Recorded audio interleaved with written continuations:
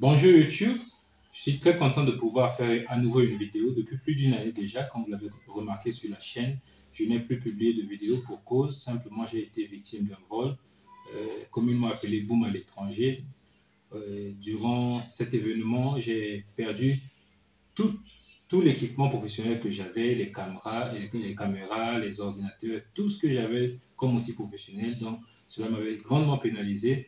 Et par rapport à cela, j'ai essayé de lancer des procédures judiciaires et tout.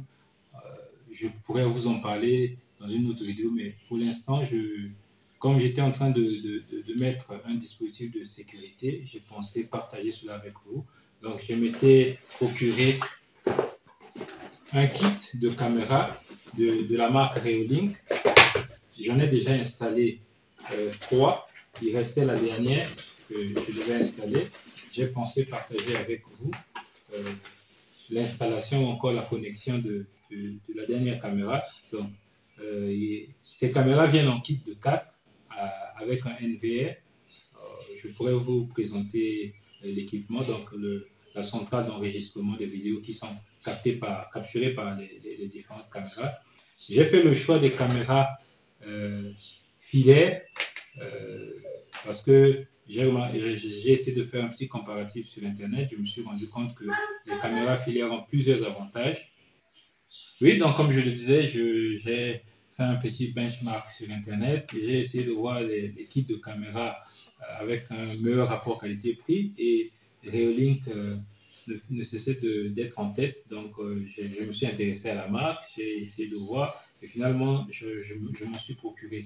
Donc j'en ai déjà installé trois ça, c'est euh, la dernière caméra que je devrais installer. À côté de ça, j'ai pris aussi une caméra euh, d'intérieur pour, pour, positionner au salon. Ça, je vais, je vais le connecter, la connecter après.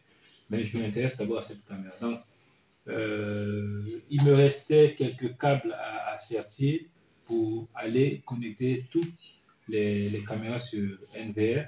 Et ensuite, je vais vous montrer euh, les choix que j'ai fait en termes de sirène d'alarme, parce que en, plus, en plus des, caméras, euh, on, va, on va le voir, hein, parce que les, les, caméras, à mon avis, ne suffisent pas. Il faudrait aussi des capteurs de mouvement.